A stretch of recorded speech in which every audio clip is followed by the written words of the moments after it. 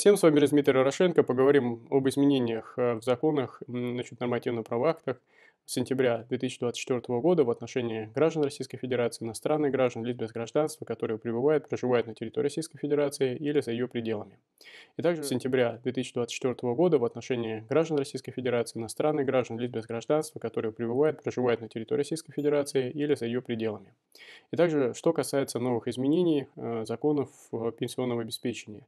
Значит, э, на э, повышение пенсии имеют право рассчитывать граждане России, иностранцы, имеющие вид на жительство, Размер фиксированной выплаты увеличивается всем пожилым э, лицам, которые достигли 80 лет. Значит, в данном случае повышение происходит без заявительном порядке. На повышение также могут рассчитывать пенсионеры первой группы, чернобыльцы и другие категории. Также надбавки к пенсии э, могут получить э, те пенсионеры, у которых на иждивении находятся близкие родственники, то есть это треть фиксированной выплаты на каждого иждивенца, первого, второго. Э, значит, если более значит, 3 и более, то, соответственно, 100% фиксированной выплаты. Те, кто недавно уволился, также имеют право рассчитывать на индексацию, э, либо те, кто представил какие-то дополнения, новые документы по учету стажа, трудового стажа. А, значит, те, кто в июле уволились, с августа соцфонд вынесет решение об индексации, соответственно, часть за июль, август а, уже будет проиндексирован, и вы получите пенсию в сентябре уже значит, с новой доплатой за июль-август.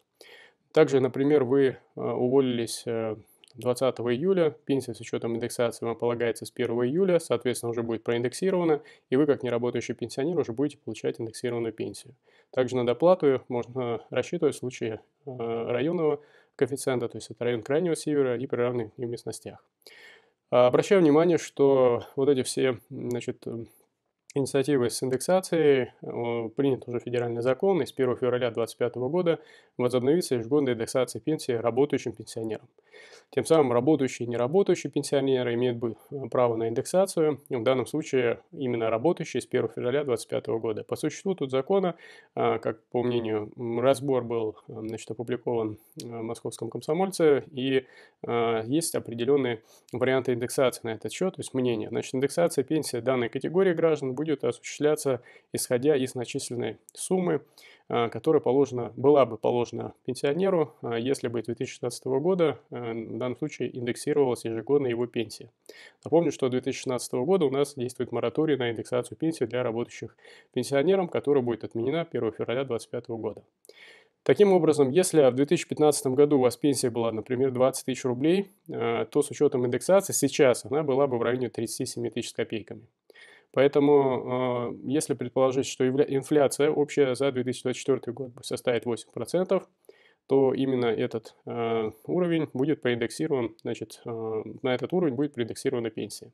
Соответственно, работающий пенсионер получит 2900 э, с копейками рублей индексации, и сумма пенсии составит 22 971 рубль. То есть не 37 тысяч и еще плюс индексация, а та пенсия, которая была в 2015 году, к ней будет добавлена вот эта вот индексация на ту пенсию, которую бы вы получали с учетом индексации. Вот пока такая схема. Соответственно, полную э, пенсию можно будет получить, э, если вы прекратите, опять же, осуществлять трудовую деятельность. То есть нужно будет уволиться, получить э, полную э, значит, индексацию, полную пенсию, потом опять заново, например, трудоустроиться, и уже как значит, работающий пенсионер будет вам индексироваться вот уже новая фактически проиндексированная пенсия. Вот такая, например, схема.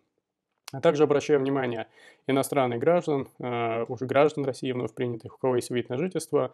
Правительство одобрило законопроект Минтруда о включении в страховой стаж э, граждан Российской Федерации, ну, в данном случае и должно быть и имеющих вид на жительство, э, для исчисления пенсии периода работы на Украине с 1991 года до начала значит, СВО. И э, по военным пенсионерам с 1 октября 2024 года э, военным пенсионерам будет проиндексирована пенсия на 5,1%. Э, Средний размер пенсии, значит, по мнению Антона Силуанова, составит 41 600 рублей. Вот, в принципе, такая информация. Это то, что касается пенсионного обеспечения. Напомню, что если есть какие-то вопросы со страховым стажем, не назначают пенсию, отсутствие баллов и так далее, то здесь каждый отказ нужно смотреть индивидуально, а так это перспектива судебного спора. Ну, вот пока, в принципе, такие итоги. Значит, э, тех, кто получает страховую пенсию, э, социальную пенсию, пока в сентябре индексация не планируется. Э, сверхурочная работа по трудовым спорам, трудовым вопросам оплачиваться будет в сентябре, исходя из размера заработной платы, с учетом всех компенсаций, стимулирующих выплат за первые два часа работы не менее чем в полуторном размере, последующие часы не менее чем в двойном размере. Если локальным актом что-то предусмотрено иное или трудовым договором, то, соответственно, будет более высокая оплата сверхурочных работ, которая будет предусмотрена данными актами трудовым договором. Те, кто заключил трудовой договор с организацией, которая расположена в, крайнем, в районах Крайнего Севера, приравненных к ним местностям, а, и призваны на военную службу по мобилизации или заключивших контракт, имеют право рассчитывать на компенсации, а, на оплату один раз в два года за счет средств работодателя, стоимости проезда, провоза багажа в пределах территории Российской Федерации. Э, соответственно, если не воспользовались данным правом в связи с приостановлением трудового договора, призывом на мобилизацию или заключением контракта, то вы можете им воспользоваться э, значит, из расчета один раз в два года за период приостановления трудового договора уже после того, как вы возобновите трудовую деятельность. По квота по трудоустройству инвалидов, что же нас ждет в сентябре? По новым правилам, число работников, которые должны быть трудоустроены по квоте, будет рассчитываться работодателем каждый квартал ну, до 10 числа следующего месяца за квартал, исходя из средней численности, э, средней численности работников за предыдущий квартал. При этом не учитываются работники представительств, филиалов в других регионах, а также кто работает во вредных опасных условиях труда. Те работодатели, у которых численность работников выше 35 человек, э, нормативным правовым актом субъекта Российской Федерации устанавливается квота для приема на работу инвалидов в размере от 2 до 4%. Считается, это фактически затрагивает граждан Российской Федерации э, от средней э, списочной численности работников при трудоустройстве. Трудовой кодекс Российской Федерации уточняет, что работник-инвалид нужно представлять не менее 30 календарных дней ежегодно оплачиваемого отпуска. Именно в Трудовой кодекс должны внести изменения, и эти изменения вступить в сентябре. Сейчас э, это условие закреплено в законе о защите инвалидов. В Трудовом кодексе такого, э, значит, такого количества отпуска не зафиксировано. Иски, связанные с социальными выплатами, например, инвалидам, льготами, а, материнство, детство и так далее, различные те, кто кому отказывают, могут э, предъявлять, соответственно, в суд по месту жительства истца. С 1 сентября также тех, кто является взыскателем, прежде чем подать э, значит, заявление на выдачу судебного приказа, должны сначала направить копию с приложениями э, документов в адрес должника и приложить почтовое уведомление к заявлению, которое вы подаете в суд о том, что вы направили, соответственно, такое заявление, э, в данном случае должнику. За счет этого, опять же, у должника будет время для того, чтобы подготовиться и какие-то принять досудебные меры для урегулирования вопроса с заявителем взыскателем. Кроме того, появится дополнительное основание для возвращения взыскателя заявления э, о выдаче судебного приказа. То есть, опять же, если он не выполнит эти условия, подтверждение предварительного уведомления э, должника. С 5 до 10 дней увеличиваются сроки, на которых может быть отложено составление мотивированного решения суда, в том числе мирового судьи, а также и срок вынесения судебного приказа. В мотивированном решении апелляции, кассации, определения должна быть указана, соответственно, дата их изготовления.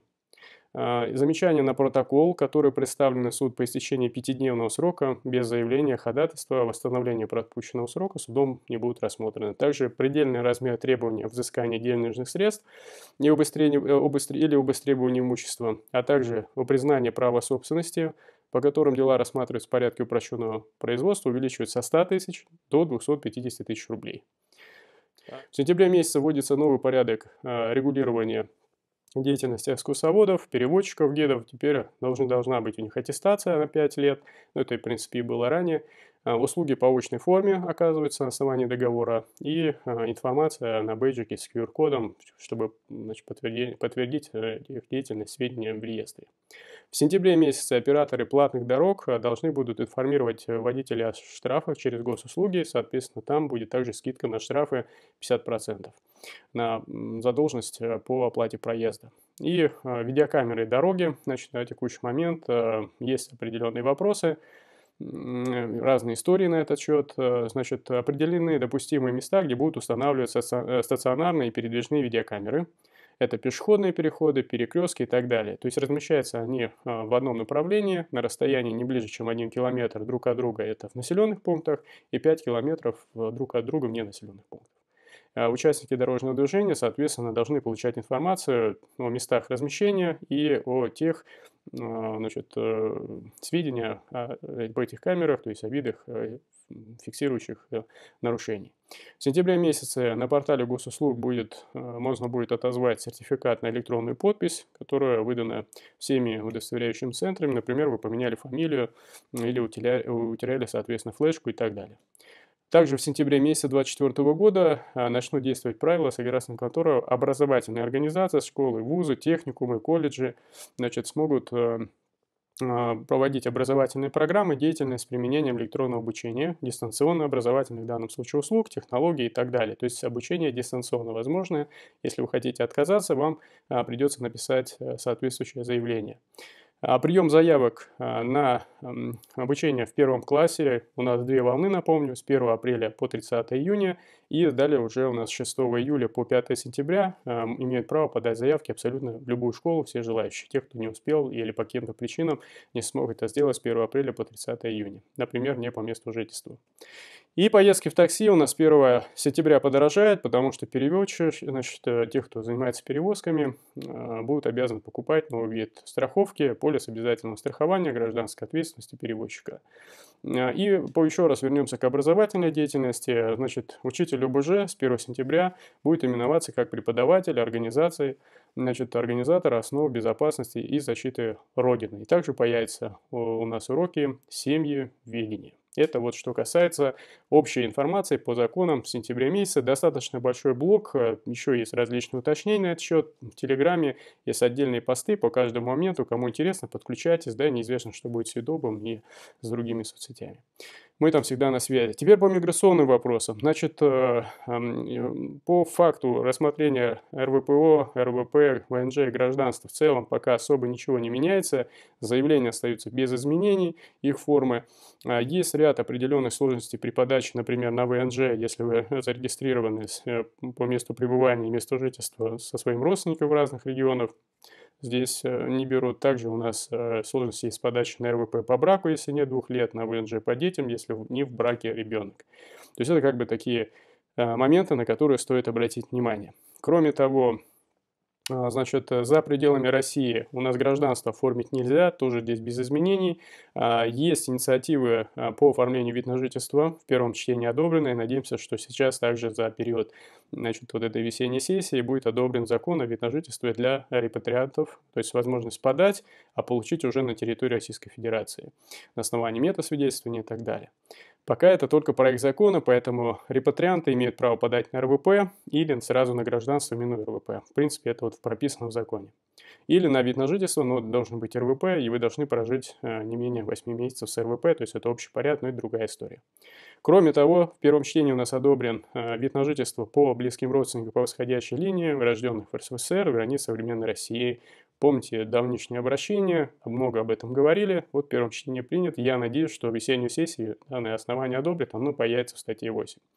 Также у нас э, фактически Закрыли вопрос носителям русского языка. Все вот эти основания, которые были, они должны исчезнуть из закона. Решение МВД по носителю русского языка уйдет в прошлое, и на это больше не стоит обращать внимание. Также обращаю внимание, что появится основание ВНЖ по профессии. Э, один год по списку профессий Минтруда от 15 декабря. Сейчас э, многие думали про полгода, но теперь будет один год по справке 6 СЗИ. Список профессий от 15 декабря Минтруда. Подаем на вид на жительство. Вид на жительство будет привязан к вашему договору. Пока работаете, он есть между увольнением увольнениями не должно пройти более 30 дней, чтобы ваш вид на жительство не был аннулирован. Что будет с гражданством по профессии, пока неизвестно. Напомню, что пока сейчас на вид на жительство по профессии а, подать нельзя, так как нет привязки к закону о гражданстве. И э, у нас э, также рассматривается блок законов по РВП по браку, чтобы он было два года, и вид на жительство вне брака по детям, то есть дети вне брака, здесь нужно будет подтверждать судебными решениями, потому что на текущий момент э, по разным регионам достаточно проблематично оформить данное основание. Значит, если у вас не принимают документы на гражданство, вид на жительство РВП, обращение через сайт МВД, э, значит, это, в принципе, достаточно действенный способ, чтобы получить информацию. Обращаю внимание, что в ближайшие недели должен быть рассмотрен э, закон о высылке из Российской Федерации, соответственно, передача в части полномочий, ну, фактически всех полномочий по процедуре административного контроля в руки МВД, и МВД сможет выдворять наравне с судами. Это тоже очень важный нюанс. Кроме того, у нас фактически появится соглашение, а, значит, значит, о въезде, критерии, скажем, определенные, которые нужно будет исполнять. И есть еще разные инициативы, которые связаны с контролем иностранных граждан, трудовых мигрантов, там запрет, например, привозить семью, целевой набор. Дети мигрантов, соответственно, должны будет при поступлении в школу подтверждать знание языка, об этом уже говорит нам разные, соответственно, инициативные группы и госорганы.